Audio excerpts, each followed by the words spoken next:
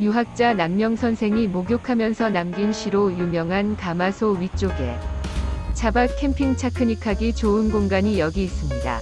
서너 대 정도 주차 가능하고 야영도 가능합니다. 가운데로 농수로 물이 흐르고 있어 활용하기 더욱 좋습니다. 그늘이 필요하면 물가 느티나무 아래서 야영하면 됩니다. 다리 아래 황토방 닮은 공간도 있습니다. 경남 거창군 신원면 구사리 1625입니다.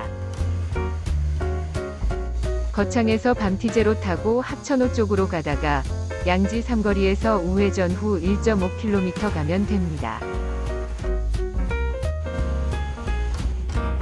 합천호까지 6km, 창포원 13km, 가막산 풍력단지 14km입니다. 가마소에서 합천호 쪽으로 4.5km 내려가면 점터가 있습니다.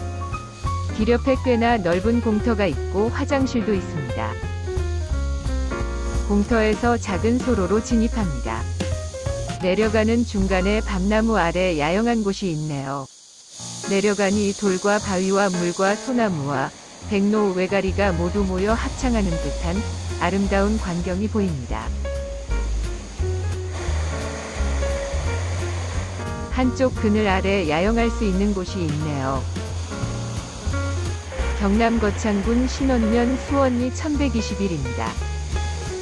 직선거리 250m 맞은편 위쪽에 병아리 펜션이 있습니다. 물놀이 하기에 좁거나 아이들이 있어서 위험하다고 생각되는 경우에 합천호 쪽으로 400m 내려가면 도로 옆에 무릎에서 허리 정도 깊이의 드넓은 곳을 이용할 수 있습니다. 도로에 그늘진 곳을 포함해 주차할 수 있는 넓은 공간이 있습니다. 그늘진 곳으로 조심스럽게 진입할 수 있습니다.